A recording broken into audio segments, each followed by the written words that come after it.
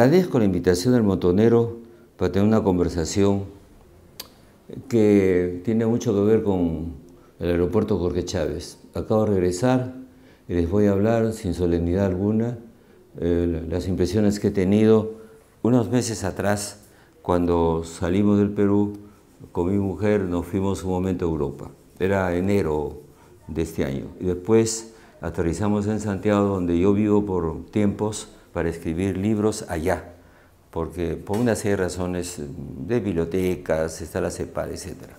Pero quiero contarles algo que tiene que ver con el mundo del conocimiento, de la educación, y de cómo se adquiere finalmente el saber.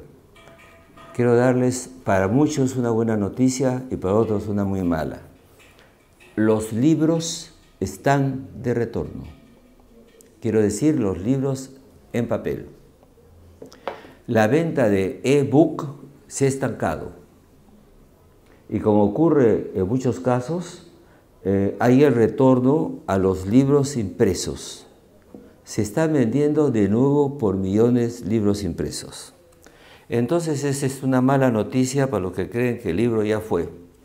Esa impresión la he recibido en Europa y es lo que está pasando en los Estados Unidos y en todas las sociedades del mundo. Eh, ¿Qué va a pasar? Lo de siempre. Cuando apareció el cine, se pensaba que iba a desaparecer la ópera. Hay ópera y hay cine.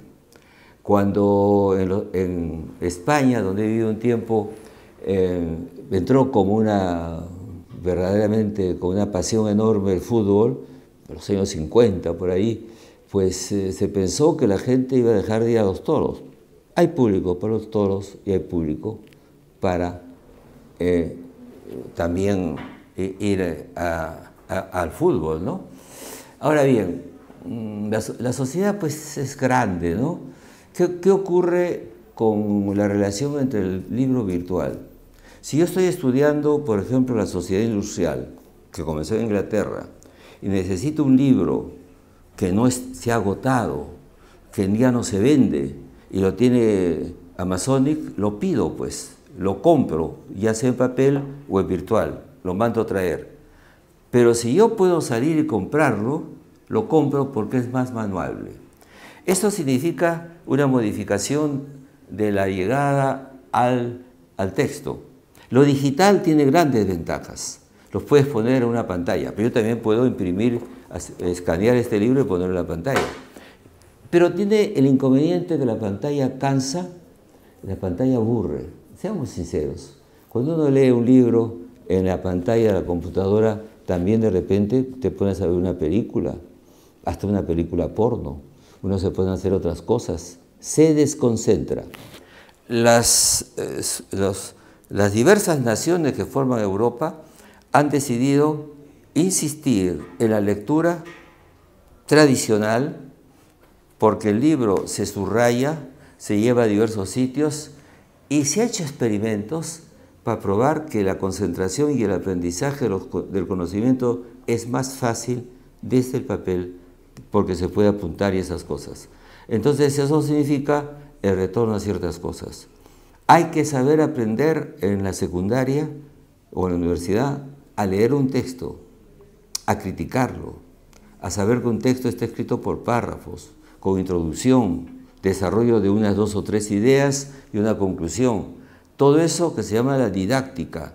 Si uno no entiende un texto de, una página, no puede aprender el saber. Entonces el saber está acá.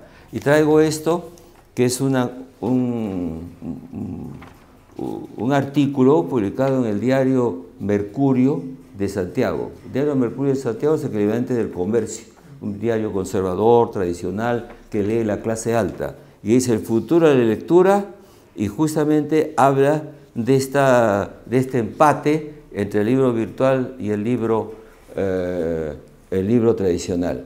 Así que como yo soy, eh, pienso como Borges, que confundía el paraíso con una biblioteca, estoy muy contento de que los libros sean importantes, porque saber está acá.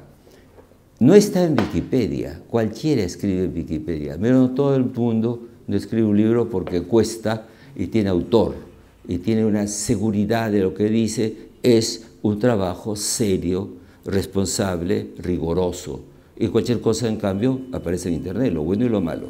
Así que les digo, eh, usemos los medios y la técnica, pero también sepamos que esto no desaparece. Hay que saber leer y criticar los textos. Y eso debe enseñarse. No se aprende instintivamente.